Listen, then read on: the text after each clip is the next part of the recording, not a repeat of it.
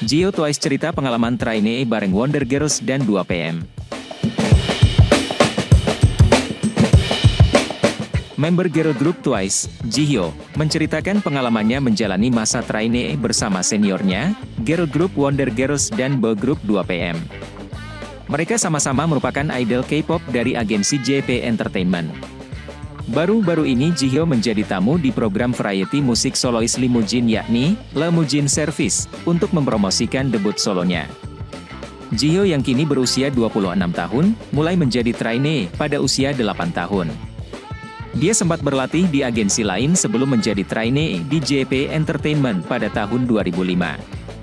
Saat Jihyo menjadi trainee JP Entertainment, Wonder Girls dan 2PM bahkan belum debut. Jihyo mengungkapkan sikap para trainee yang usianya lebih tua darinya. Mereka sangat menyukaiku, kata Jihyo Twice, dilansir Koreabu. Lalu dia merasa debutnya para senior adalah hal menarik. Bahkan Jio sering menginginkan tanda tangan mereka untuk diberikan kepada orang tuanya. Selain Wonder Girls dan 2PM, saat itu juga ada Gikwang Highlight, CL2NE1, member Wonder Girls, serta Hyun A yang juga pernah menjadi trainee di JP Entertainment.